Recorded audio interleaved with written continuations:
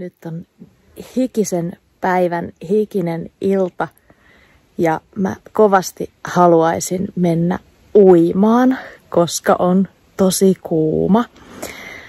Mutta mä katsoin tuolta Helsingin Sanomista, että pitäisi varmaan testata tämä vesi, että onko täällä sinilevää.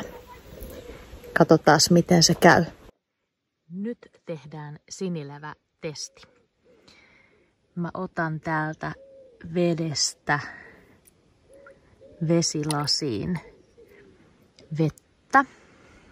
Ja nyt tämän veden täytyy seisoa täällä vesilasissa puolesta tunnista tuntiin. Jos se aines, mitä täällä vedessä on, jos se painuu tänne vesilasin pohjaan, todennäköisesti täällä vedessä ei ole sinilevää. Mutta jos se aines tai levä nousee tähän vesilasin pintaan, on mahdollista, että se on sinilevää. Eli nyt meidän täytyy odottaa puolesta tunnista tuntiin ja katsotaan, voinko mä mennä sen jälkeen uimaan.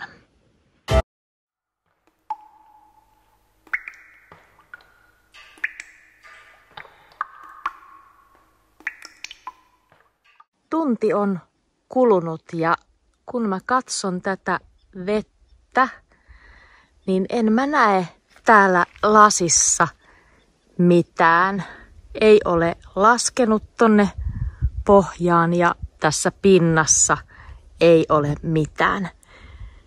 Niin kyllä mä sanoisin, että nyt mä menen uimaan.